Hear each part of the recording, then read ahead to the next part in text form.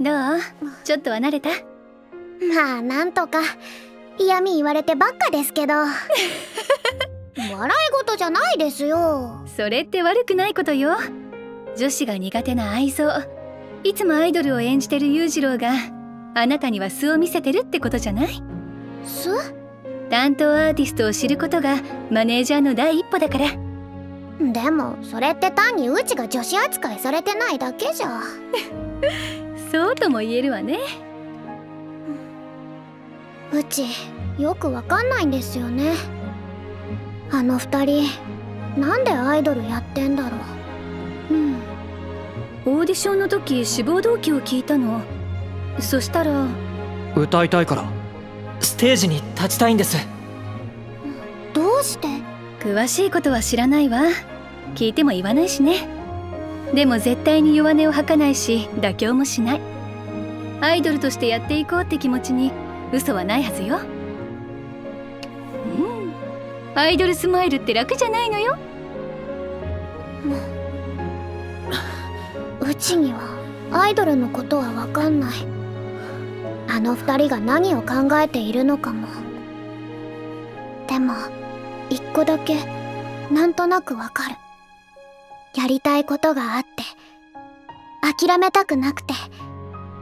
誰に何と言われようと負けたくないって気持ちうちにとっての陸上があの二人にとってのアイドルなのかも。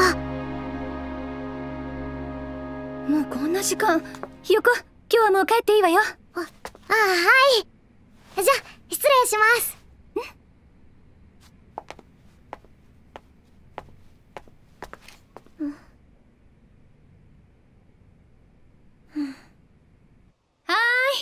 はここまで。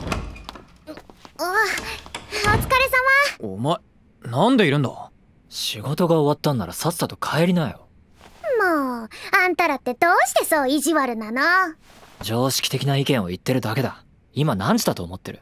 芋女でもお前一応女子だろ。あ意外と優しいとこもあるんだ。えっと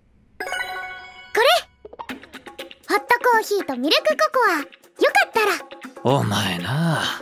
レッスン後には普通水かスポーツドリンクだろ、うん、ホットコーヒーってありえねえ。